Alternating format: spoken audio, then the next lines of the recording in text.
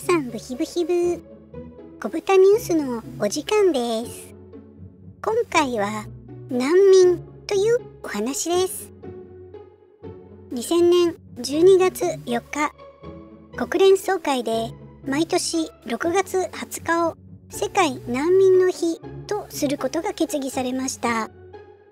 日本では改正入管法が可決成立したことにより悪質な不法残留者を排除し貴重な審査のリソースをいち早く真に保護が必要な難民に向けられるようになると小豚さんは考えていますが実際の運用で問題が出てくるかどうかは注視が必要と考えています部費難民。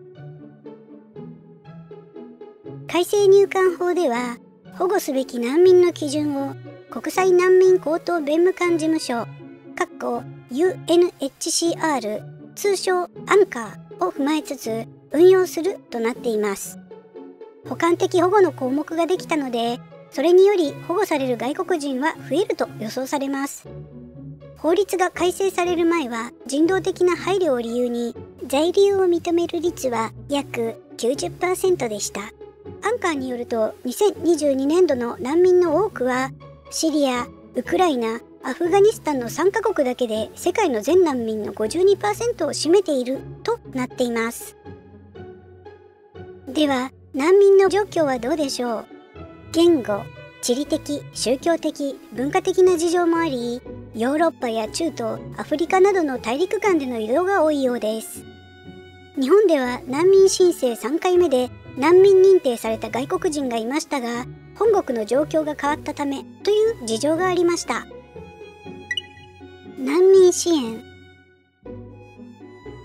日本政府のアンカーへの2022年度難民支援金は1億6700万ドルとなっており国別の民間からの支援を除くと世界4位になります。